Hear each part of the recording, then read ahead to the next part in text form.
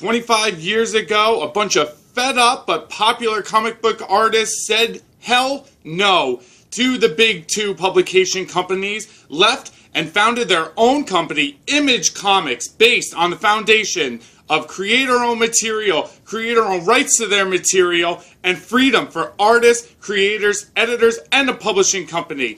Those morals still stand to this day.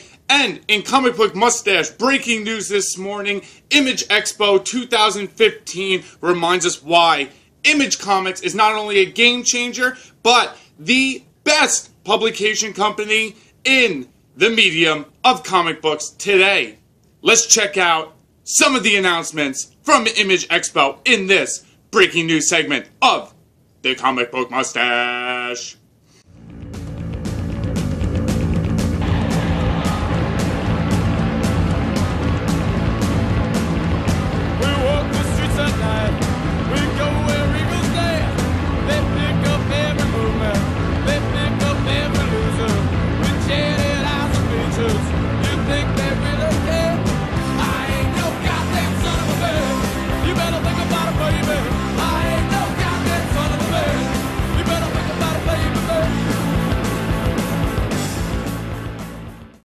Let's take a trip back through memory lane, ladies and gentlemen.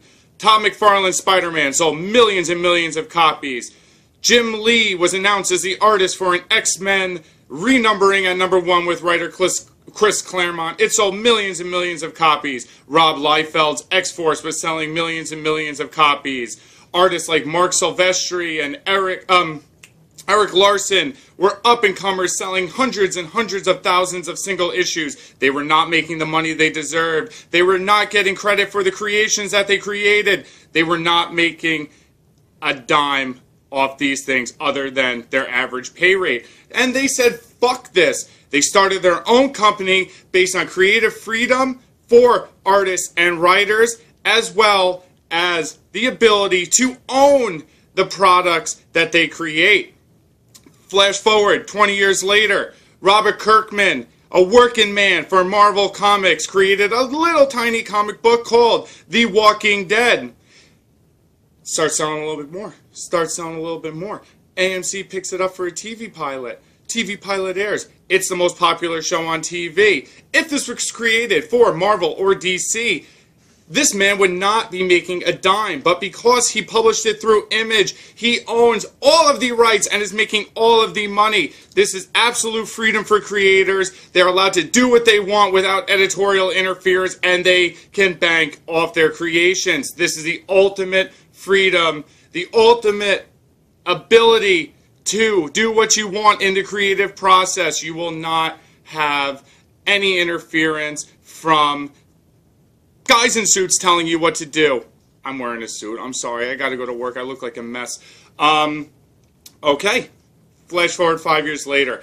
The year 2015. It's January. A mustache is getting settled to go to sleep next to his beautiful wife and his loving but very annoying kitten. And he's getting bombarded on his cell phone with news from a comic book convention that he had been looking forward to, Image Expo 2014. It happened last night. I woke up this morning to even more amazing news. We have a ton of stuff to look forward to in the game of creator owned comic book um, publications. And um, I've said it before and I'll say it again.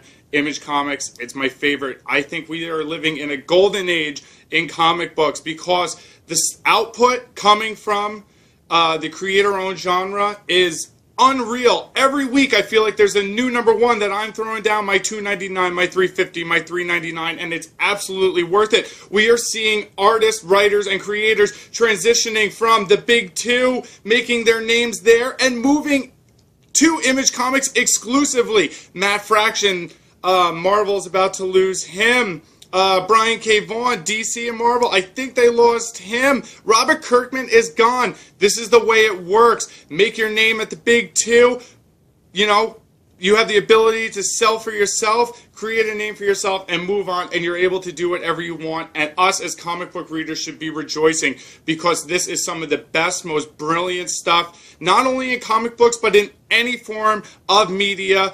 Um, stuff like Saga, stuff like Sex Criminals, stuff like Pretty Deadly. No one can get away with that in um, films, and if it was written as a novel, we wouldn't be able to get the um, artistic illustrations exactly perfect uh, in the terms of the way the creators intended these things to look and the pace and everything. It is very unique to comic books, and it's one of the reasons comic books is the best um, creative medium for artists as far as um, getting their output done perfectly as intended as a creator.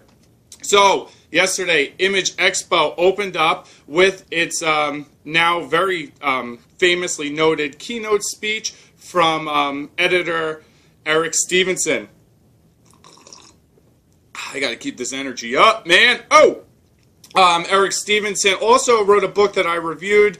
Go back to next week, uh, last week, go through Don. Go back to last week on my uh, feed and check out They're Not Like Us. Number one, it was written by Eric Stephenson. He writes another great book called Nowhere Men, which never gets published anymore for uh, personal reasons from him and the artist. Stephenson said it before in his speeches watch out, Marvel, watch out, DC. They're coming for your creators. It's no longer just a big two.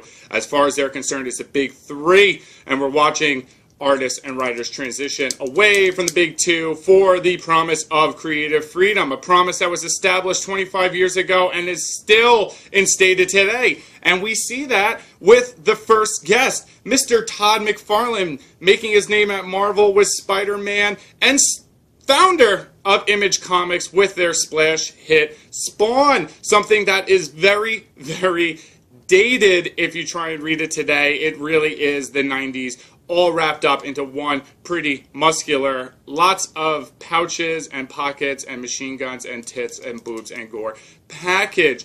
But Spawn has still been continuing, and with number 250, McFarlane promised us three or four issues for the price of two. Says it's going to be a big, huge splash issue. He's going to be working on a new film script, taking his time away from comics. Probably still working on his toys because money, money.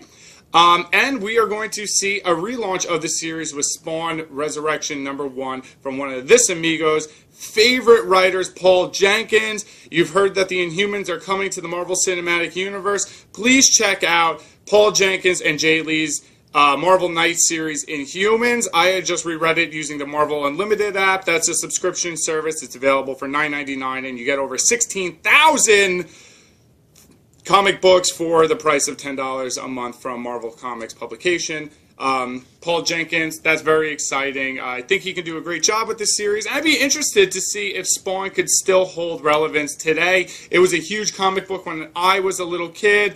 Um, it was a phenomenon. Uh, the HBO series was great. The movie, not so much. But um, as dated as it is now, um, it's a landmark for the industry, and I'm excited to see what Paul Jenkins can do. I forgot the name of the artist, and I apologize. Up next, one of this Amigos favorites, James Robinson. Check this out. James Robinson did a series for DC Comics called Starman uh, about 10, 15 years ago, where he took the Golden Age character of Starman and uh, made it his son, Jack Knight, artist Tony Harris, it feels like a creator-owned series. It has beautiful artwork, and it is one of this Amigo's favorite comic book series of all time. This is a little action figure that my little sister Margot, I love you Margot, got me for Christmas. Uh, I love Starman. I love James Robinson. I think he's doing a great job at Marvel right now uh, with Fantastic Four. As the Fantastic Four is getting canceled for some stupid fucking reason, nobody knows. Uh, maybe because only this mustache has been buying it for the past 10 years. Pick up Fantastic Four, they're important. Um, as uh, that series is getting canceled and Robinson says his farewell to DC and Marvel, he has been doing Saviors, uh, which is a really fun series, though it has a sporadic release date with Image Comics. And uh, he's doing a really weird series called Airboy. Uh, flashback to the Golden Age, supposed to be psychedelic and drug induced. Sounds like fun, sounds really weird. Plus, a new sci fi book, which was teased last night called Heaven with uh, Philip Tan. I was singing Heaven in the tune to In Heaven from my uh, favorite film, Eraserhead. Brian Wood uh, working on Marvel's um, Moon Knight after Warren Ellis left. Also, uh, that really good Star Wars book from Dark Horse before uh, Star Wars got bought over from Marvel. Brian Wood has a new series uh, where celebrity chefs rule the world. It's called Starve, plus a Viking book called um, Black Road. I'm trying to remember all these things. I have a couple scribbly notes uh, behind the camera. So, some stuff to look out for with uh, Brian Wood. Emma Rios, we are, um, she's a wonderful fucking artist, a cool lady. Um, we're getting pretty deadly season two from writer Kelly Sue DeConnick. Uh, Kelly Sue writes for Marvel with Captain Marvel, but she is another one who's transitioning over with her husband, Matt Fraction. Lucky dog gets to bang that guy every once in a while. Um, she's moving over to Image. We saw Bitch Planet number one. I did a review of that. If you look back in my feed, see how I like Bitch Planet. But she has another book. Uh, season one was released uh, throughout the past two years. It's a wonderful, weird um, poetic western called Pretty Deadly with artist Emma Rios. Uh, season two will be coming. I'm losing my bearings here. Forgive me. Um, and also, Emma Rios has a really interesting looking uh, new series called Mirror, which was announced last night. Here's some big news for me. I'm a big fan of uh, writer artist Jeff Lemire. Underwater Welder actually made me cry. I was in a closet at work um, at a hospital trying to escape the day to day grind, and I had it in my pocket. I picked it out and I started bawling, and a friend saw me uh, tearing up in a closet and thought it was really weird. And I had to tell him it's because I was reading a comic book by a wonderful Canadian writer and artist called Jeff Lemire. He has a new series coming out called uh, Plutonia. It's like Stand By Me with superheroes, where a group of Canadian teens stumbles across a dead superhero in the woods. Lemire has another project that was announced yesterday. It's probably going to be the biggest release Image Comics has. Writer, superstar Scott Snyder, DC Comics Batman, as well as Wytches, is doing a book with his Canadian pal Jeff Lemire called AD, which stands for After Death. Next, from Brian K. Vaughan, BKV, we get a new series um, writer of Saga, Y the Last Man, some of the biggest books in comics and examples of why creator owned series will be victorious. Uh, we Stand Guard is the name of his new series. It's got art by Steve, hope I'm pronouncing this right, uh. Uh, it's Canada versus the U.S. with gigantic robots. U.S. Um, invades Canada and the Canadian uh, defending forces. Something weird beautiful cover, and uh, there's a preview on um, a couple websites right now. I did a uh, best of 2014, and my favorite new series of 2014 was Wicked and the Divine, which is a series from Image Comics from the artist writer team Kieron Gillen and Jamie McKelvie. The team had done a book for Image years ago called Phonogram. I love this series. If you're into music, if you're into uh, current day pop culture. If you live in Williamsburg, Brooklyn, it is a series for you, and they're coming back with the second part to Phonogram. Um, it's called The Immaterial Girl, and Kieron Gillen also announced a new series with a artist who I can't remember the name of, but it's going to be called The Ludocrats, a fantastical adventure beyond space, time, and uh, mortal comprehension. Really cool stuff. Chip Zdarsky uh, if you watch my best of video, my favorite ongoing series was uh, from artist Chip Zdarsky, Sex Criminals. Uh, Zdarsky and um, uh, Matt Fraction, Sex Criminals is another creator-owned series that is just so gorgeous, so beautiful, and I haven't laughed so hard reading a comic book ever, ever, forever, ever, forever, ever. Um, he's got a new series that he'll be drawing um, called Kaptara, um, and it had a tagline, Space, why you gotta be like that? which got me really excited because it shows that it's got the uh, levity and humor um, that we've come to know from Chip Zdarsky. Skottie Young, the guy who drew all those Marvel Babies covers and um, writer of uh, Marvel's uh, Tales from Oz, a really cool adaptation of Frank Baum's work.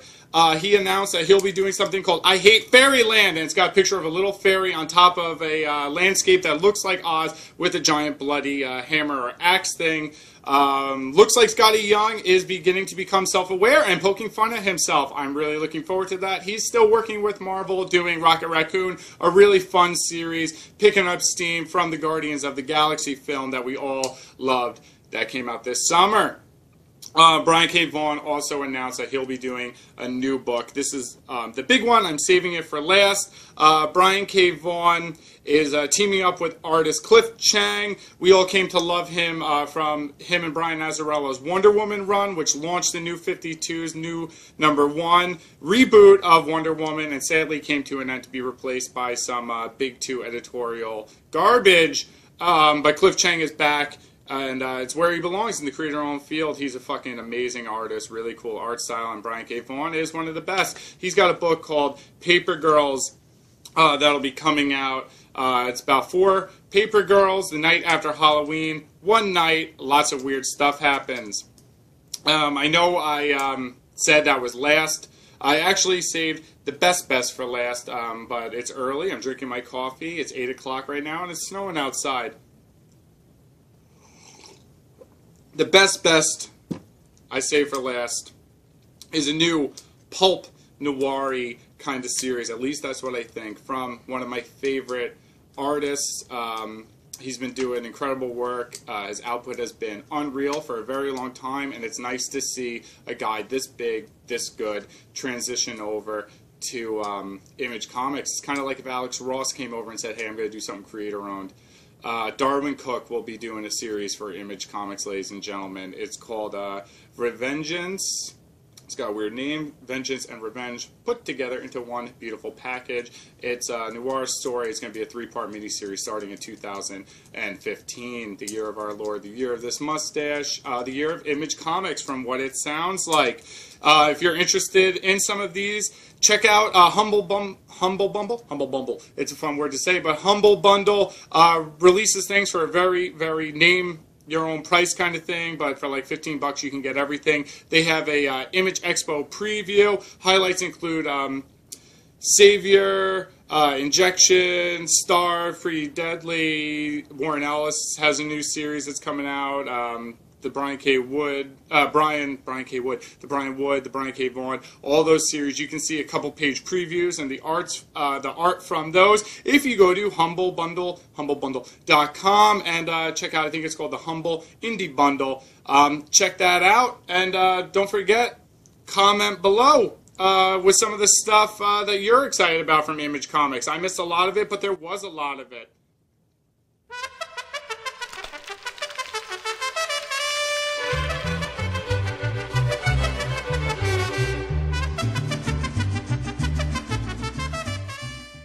If you're interested in checking out comics by the amazing publication company Image Comics, find a comic shop near you. Go to comicshoplocator.com, type in your zip code, and you can find a comic shop closest. And if you can't, download your comics digitally.